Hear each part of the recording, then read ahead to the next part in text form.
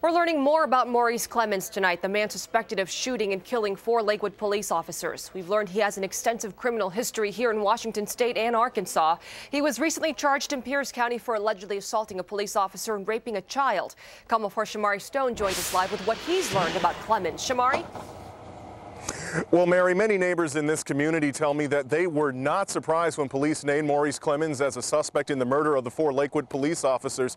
They say that he has a very bad temper, yet some folks tell me he's like Dr. Jekyll and Mr. Hyde. He's nice, generous, pleasant, the type of guy that you could go next door and say, hey, can I borrow something? And he say, sure, here you go. Now, here's what's interesting. We've been outside his house today. We can see it behind me, and there was a woman who yelled, stay off the property. We have not gone back on the property. There's three cars cars parked in the driveway, and it's pretty tense out here. A lot of neighbors are staying inside. They tell me that they are very concerned because he is still on the loose. Now, as we stated, some people say he's like Dr. Jekyll and Mr. Hyde. Here's what's very interesting. We interviewed him uh, seven months ago, and he seemed very calm. Let's take a look. I've been ripping and running and, you know, and, uh, you know, just trying to, you know, wake up out this nightmare.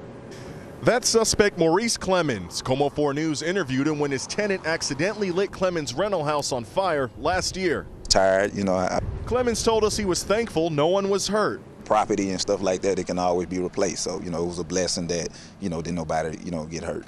Sunday night, I tried to talk to his wife while police searched their home and removed evidence. Hi, Miss Clemmons.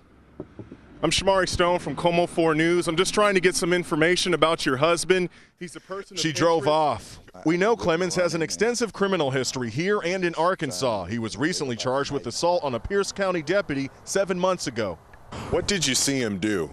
Uh, he was that day he was throwing rocks to the to the police because the police came here because he was talking about Jesus Christ and Neighbors also tell me that Clemmons went on a rampage, throwing rocks at cars, homes, shattering front windows. When police showed up, a neighbor tells me that he watched Clemmons punch one of the officers.